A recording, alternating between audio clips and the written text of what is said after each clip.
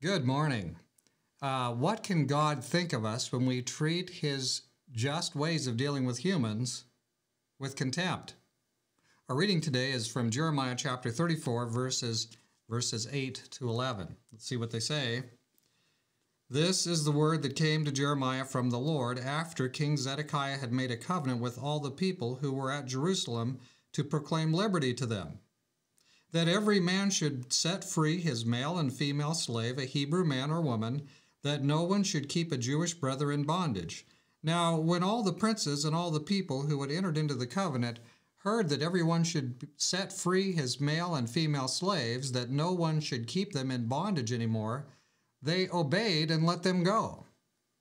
But afterward they changed their minds and made the male and female slaves return, whom they had set free and brought them into subjection as male and female slaves.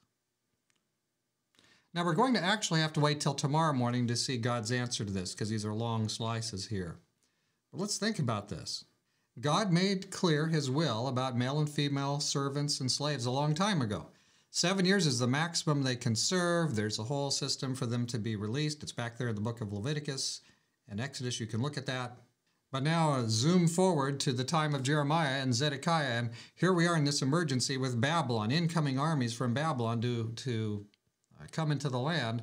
And somebody gets the bright idea hey, you know, we've really been disobeying God on this uh, female servants thing and, and, male servants. We haven't been letting them go at the end of seven years why don't we re- consider releasing them and maybe that will increase the odds you know god will feel a lot better about us. Somebody came up with some kind of a thought like that. They decided to do it. Hey we're going to release our male and female servants now. I think god will notice. So they actually thought it out. They also actually worked it out.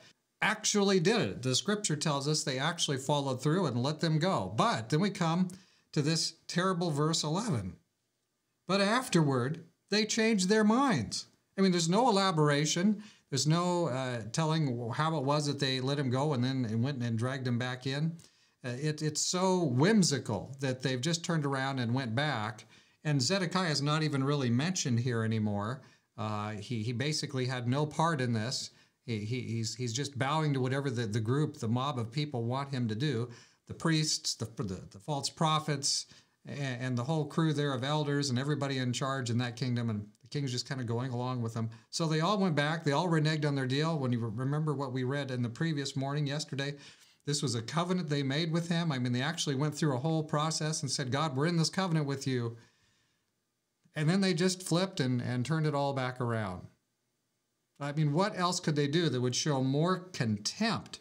Contempt for their own decisions, contempt for the God of heaven, contempt for their servants and slaves and uh, just contempt for their own word. Just, well, we're going to go back. We're not going to do this after all. Drag them back in here. And now, you know, if God wasn't unhappy before, and he was, but now they've put themselves out in an agreement with him, and now they've reneged on that in his face. I mean, what can you say?